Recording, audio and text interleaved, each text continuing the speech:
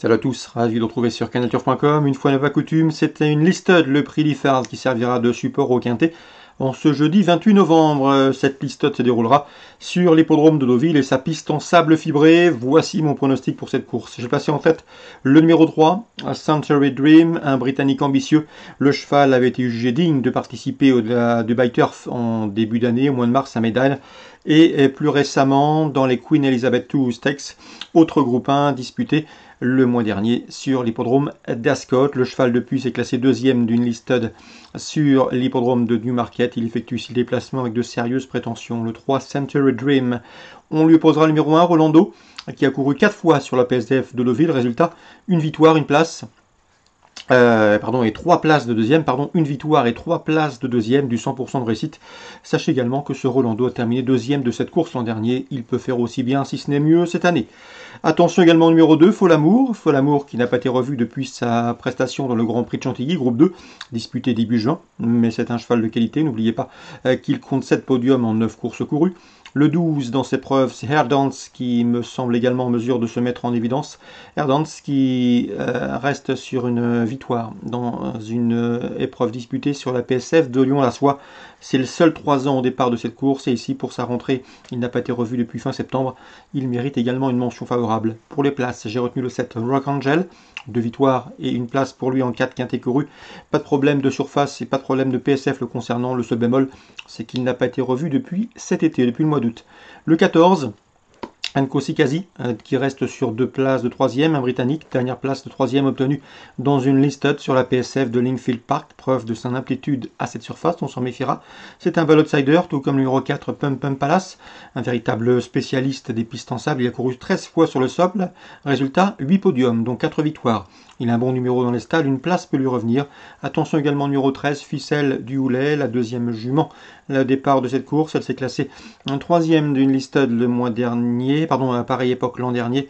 Et à mon avis, le seul bémol la concernant, eh bien, c'est que cette femelle est plus confirmée sur le gazon que sur le sable. On résume tout ça en chiffres pour ce quintet du jeudi 28 novembre. Je prendrai en base le 3, à savoir Century Dream et le 1 Rolando. Derrière, on leur associe le 2 Folamour, le 12 Air Dance, le 7 Rock Angel, le 14 c'est Enko Sikazi, le 4 Pum Pum Palace et le 13 Ficelle du Houlet, celui du programme Deauville. La quatrième, j'aime beaucoup le 407, c'est euh, dans cette épreuve Falco Béret qui reste sur une quatrième place dans un handicap cantilien sur le sable. Et si face à ses aînés, la dernière fois il n'avait que les 4 ans sur sa route, il devrait confirmer. Dans la sixième, le 602 Desdas et le 604 Gambari, tous les deux proches d'une première victoire, mérite crédit. Et dans la huitième, mon préféré sera le 801 Osebosque. Le cheval reste sur des échecs, mais attention, c'était dans des lots de meilleure facture. N'oubliez pas qu'à pareille époque, l'an dernier, le cheval avait remporté un handicap sur ce tracé, et ce, en 38 de valeur. Il est désormais en 34,5. C'est dire euh, s'il est bien situé qu'il semble en mesure de reprendre le cours de ses bons classements 407, 602, 604 et 801 Vincennes Réunion 2. Dans la première, en la première on prend le même recommence avec le 112 Escondido, le 7 Écossais Vivoin et le 8 Excellent Day, qui ont formé dans cet ordre le podium gagnant d'une épreuve disputée sur ce tracé le 7 novembre. Dans le prix urgent, belle épreuve, sous la selle, il faut racheter 309 euh, Grâce de Faël. Elle a été rapidement disqualifiée dernièrement dans le prix Louis Tillet, mais auparavant elle n'avait pas connu la défaite en 6 sorties sous la selle, il faut la racheter. Je rachèterai également le 311, c'est Guérilla de Sim, qui a été la lauréate platonique de ce même prix euh, Louis Tillet disputé dernièrement. Euh, or, la jument avait été disqualifiée dans le dernier tournant ce jour-là. Elle avait passé le poteau en tête néanmoins. Il faut la reprendre.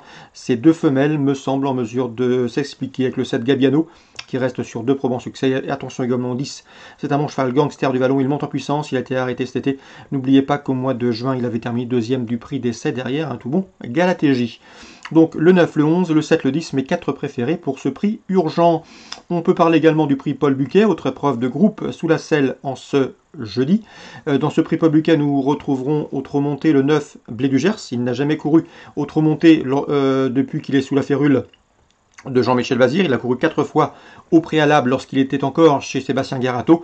Et en quatre courses autre montée, il a signé une place, une victoire et deux disqualifications pour son retour autre montée ici.